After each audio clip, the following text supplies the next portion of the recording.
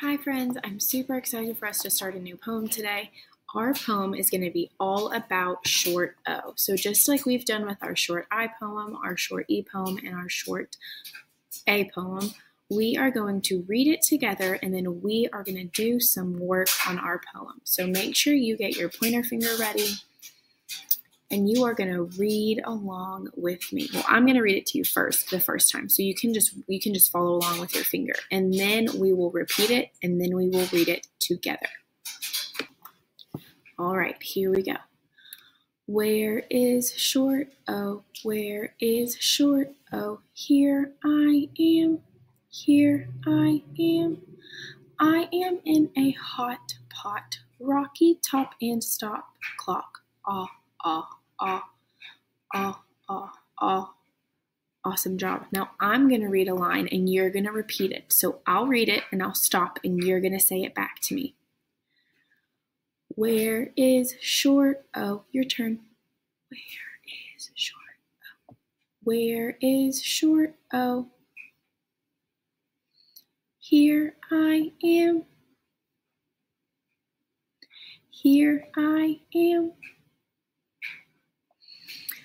I am in a hot pot. Rocky top and stop clock. Ah, ah, ah. Ah, ah, ah.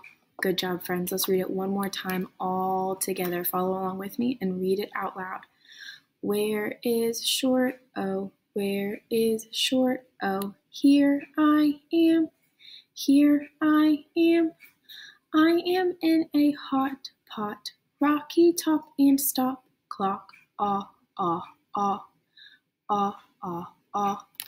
Awesome job, friends. Now, just like last week, you guys are going to circle snap words, circle words that you know in a snap.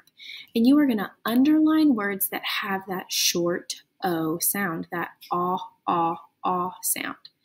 So, for example, the first word that I know in a snap is the word is. So, I'm going to circle the word is. And there are lots of other words in this poem, like the word here, I, here, I, and then am, in, a, and there are lots of words that you can look for. And then after you circle all of your snap words, you are going to underline words, or you can put a box around them, words that have an ah sound. So, for example, I know the word ought, hot has that ah, ah, ah sound. I am in a hot pot, hot, hot, hot. That word hot has that short O sound. So make sure you circle your words that are snap words and you draw a line under your words that have that short O sound.